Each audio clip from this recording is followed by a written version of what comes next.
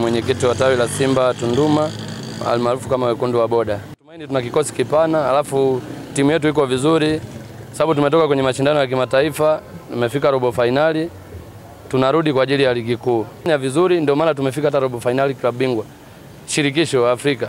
Tulianza vibaya msimu, lakini kwa sasa hivi tuko vizuri na tunaenda kutoboa hii mechi. Kwenye dabi yetu ya, ya kwanza tulitoka bila bila, kwa hiyo naamini kwa mzunguko wa pili tunaenda kushinda. Kwanza swala la kuto kupoteza ni kitu ambacho huu ni mpira unachezwa, kwa hiyo tunaamini sisi tunaenda kuvunja mwiko. Alafu unajua kwenda kumpiga mtu ambaye hajapigwa kuna raha yake, yaani kuna anaenda kupigwa na mtu ambaye tunaenda kupiga mtu ambaye hajapigwa kwa sababu alafu ukiangalia mechi kuhusu swala la ubingwa, sisi bado tuna hope na ubingwa, kwa sababu mechi zimbaki kumi na moja wao wamecheza mechi kumi. Kwenye mechi kumi mtu anahitaji apoteze mechi tatu au mechi mbili ili bado mbio za ubingwa ziendelee kuwa ngumu kwao na kwetu pia. Kwa hiyo sisi tunaanza kufikia hizo ndoto za ubingwa.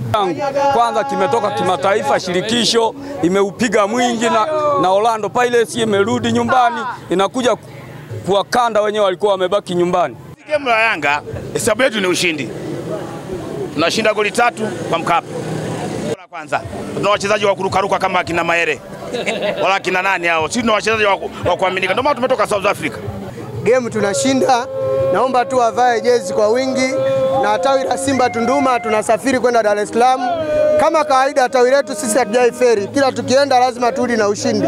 Kwa hiyo nawaambia mashabiki wa Simba Tunduma, vaeni jezi kwa wingi na tuende Dar es Salaam na tunarudi na ushindi kama kawaida. Tupo kwenye nafasi ya pili. Ah, tunaamini sisi tunajua dabi hii ni dabi kubwa. Kila mmoja Tanzania anajua dabi hii ni kubwa, na kila mmoja anaingia pamoja na mashabiki wote wanaingia na pressure, lakini sisi Simba hatuna pressure kwa sababu tunajua tunaenda kushinda hapa Tanzania kwenye timu ya Yanga.